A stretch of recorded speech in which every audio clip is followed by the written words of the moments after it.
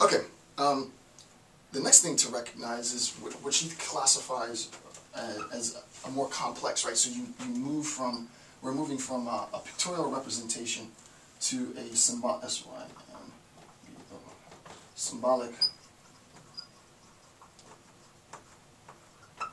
right? We're moving from a pictorial representation to a symbolic representation. She uses the phrase symbolic code, right? The symbolic code. Um, and I think the example that I've used later in the discussion will really, really solidify what this means um, in, an in a very concrete example for Rand, and hopefully that will clarify all the confusion. So we move from a, a pictorial representation to a symbolic representation, and, and the question is, well, why?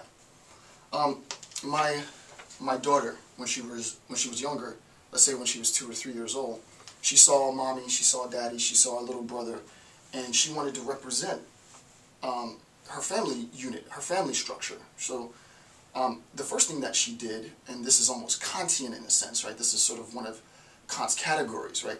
She, she recognized quantity as, as a perceptual given, right? It's not something that I need to, math isn't a perceptual given, but quantity is a perceptual given, right? It's sort of the conditions for the possibility of epistemology. Um, and I, I think that's a little heady, but I think, uh, you know, based on the feedback, I, I know a lot of you understand what I'm saying, right? Uh, for those of you who might not understand what I'm saying, what does that mean? Okay, so my, my daughter, my daughter recognizes, and you see this actually on cars a lot now. The back of cars for windshield wipers, or the back of a car, you'll see this all the time. You'll see like an image of like a dad, and then like a shorter version, which I guess is supposed to represent a mom, and then like the number of kids, right? So my daughter might draw this picture. Here's dad, here's mom, here's me, here's my, well, her brother's smaller than her, so, or was, he's, he's, he's growing up quick, but, uh, so she might, my daughter might, draw this image, me, my wife, herself, and her brother, as a pictorial representation of family. we already meet, we immediately know that family is now a unit identification, right? And, and I'm not going to get into this because I've already done this, right? In a sense, at this very uh, rudimentary stage, my, my daughter already has an ability, in a Randian sense, of unit formation, unit identification, because we, she recognizes that this unit, the family, is represented by these things, mom, dad, me, and my brother. My daughter gets a little bit older. She's not there yet, but imagine, you know, 15, 20 years from now, she follows in her daddy's steps and she becomes a she becomes a philosopher, gets corrupted by the machine. So imagine, imagine that, you know, imagine she, let's just say for the sake of argument, she becomes a philosopher and she, she recognizes that things are far more complicated than they seem, right? She might return to this idea of family, the unit of family, years later, after taking many, many philosophy classes. And she might want to try and represent what this means as a philosopher, as, as, as someone who is critical, almost cynical of, of, of almost everything, right? How would she represent this? Well, she would try to get to the essential key components of what a family is, right? And she would say a family is that in, in a, an attempt to try and define the essential components of a family, right? Um, and there would be debate on what that is.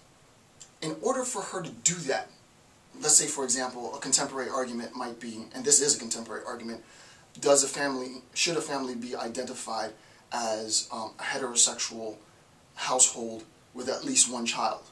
Can you have a family where you have a heterosexual household with no children? Can you have a family, the, the, the classification of the concept family, can that be appropriated to um, um, a homosexual um, uh, household without children, with children, and so on, right? All the variations that we can possibly think of, right?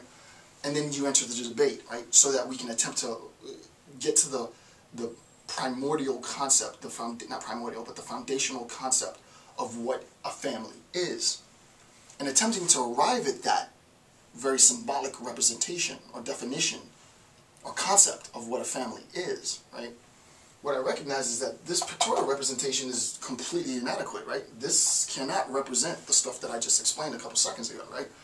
My language needs to become very, very well articulated. The structure of my language, the grammar, the, the, the sense in which my language points to things in the world has to become very, very um, explicit in order for me to give a proper representation of, maybe not a proper, a representation, a well articulated, to be technical, a well articulated definition of what the family unit is. So with the symbolic code, um, the symbolic code is is not limited, right? I wouldn't go so far as saying it's unlimited. I don't know if Rand would say it's unlimited. It's arguable whether it is, I, I, given the fact that language is itself sort of infinite. You can infinite combinations to come up with infinite conceptual abilities. It might be unlimited, but I'm not going to say it's unlimited. So that's sort of up for debate. Um, the rep, the rep, it's definitely larger, so we'll put larger, larger. It, it obviously has a larger conceptual range, uh, it being symbolic representation. It has a larger conceptual range.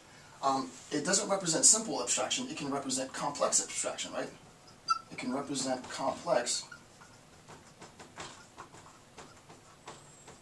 right? You can talk about the same thing, the unit of family, in a pictorial representation, which is basically this, or we can talk about the unit of family in terms of a symbolic representation, and you know, think, you know, uh, address concepts like um, the current debate is a family exclusively defined in terms of heterosexual couple with at least one child. Is that, you know, that's, and I'm not, you know, I'm not into the description of family. This is something off the top of my head right? So is that the essential characteristic of what a family is, right? Can you have a family without children? Can you have a family, um, can you have a family just by yourself? It would seem to say no. So now we see, you know, there's, there's some thresholds that need to be met, right?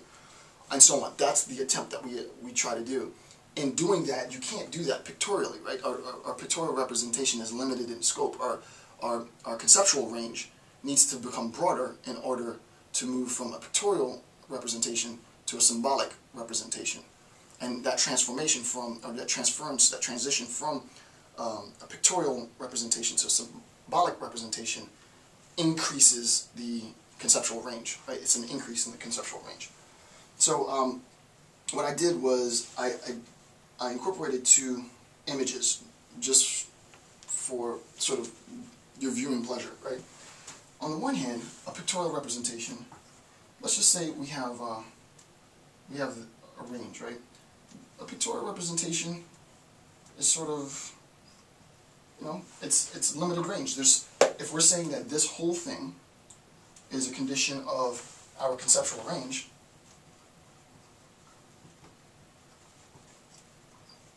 right? And we'll, I, I, don't know, just so that I give you a quantifiable number. You don't need a quantifiable, quantifiable number at all. You just need to know the concept that it's bigger or smaller but just so that you sort of have a visual. Let's say that this moves from, uh, this range, of conceptual range moves from 1 to, let's just say 5. This is purely just for argument's sake, so that you, you understand what I'm attempting to say. And we'll say that 1 represents the pictorial, pictorial representation. Then a pictorial representation, just for the sake of pedagogy, pictorial representation moves from, you know, range 1 to 5, right? within the range of conceptual range, what the conceptual range is.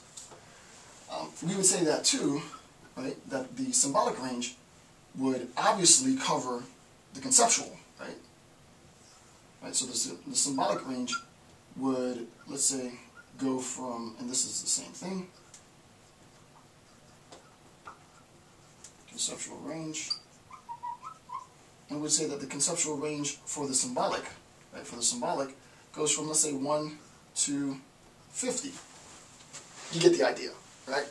Basically, that's what she's saying. The conceptual range for symbolic code is larger than the conceptual range for the pictorial representation, right, which is smaller, right? So that's what she's saying, and hopefully this visual gives you an idea of what she's saying, right? All she's saying is that the conceptual range, and, and not only that, right? So there's two things that she's saying, at least two things that she's saying. The first thing that she's saying is that the conceptual range for the symbolic code is larger than the conceptual range for the pictorial representation. The second thing that she's saying is that the pictorial representation has proven inadequate, right, has proven inadequate in our increase in knowledge and abstraction, right? As our knowledge and abstraction increase, there's a threshold at which our, our, our pictorial representation just can't accommodate it.